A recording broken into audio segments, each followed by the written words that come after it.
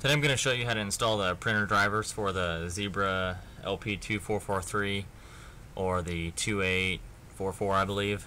These are the 4x6 label printers that you would use for like if you're selling on eBay or doing other shipping. That's what they're uh, great for.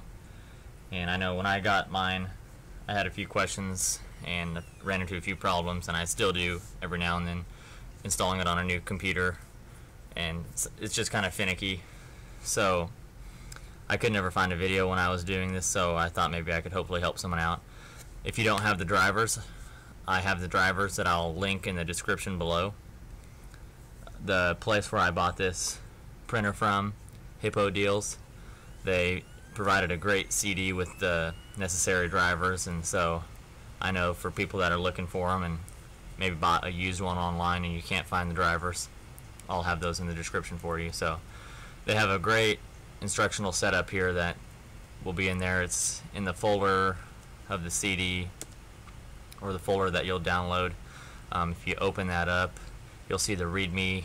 He's got an HTML file that he made just to kind of help you out here with the instructions.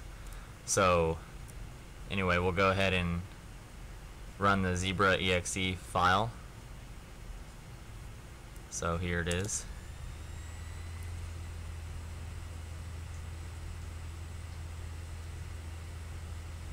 I'm on Windows 8.1, so this should work for 7, 8, and 8.1. So go ahead and hit OK.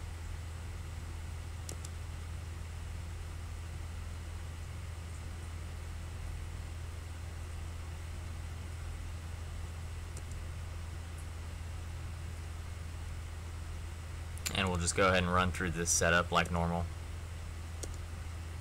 And so at this spot right here we're gonna want to choose I've got a 2443 but there's hundreds of printers here that this will work for this driver.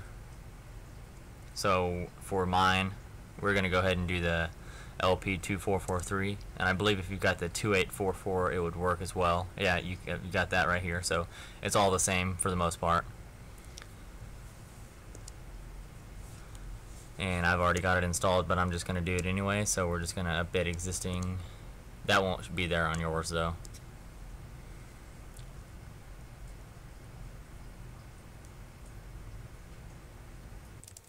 So let's go ahead and head on over to devices and printers once it's installed. And here it is. Uh, I've got the Zebra LP2443 and I don't know why, but almost every single time that I've installed this printer, I've always had to install it twice and rename it something different the second time because for whatever reason it never wants to work the first time I install it. So I always install it once and it's LP2443 and then I have to go through and I have to install it one more time and uh, you want to choose in there in the setup the highest USB port. So if you have two USB ports, then you would want to try and choose USB 002.